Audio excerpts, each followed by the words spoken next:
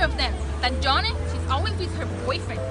Perfect, perfect life with Harley. She's never sad. She got good grades. And she's best friend with Johnny. Before it was me. I hate her. She pulled me away from my friends. And Alondra, she changed. Maybe. But don't worry. I'll be joining soon. Very soon.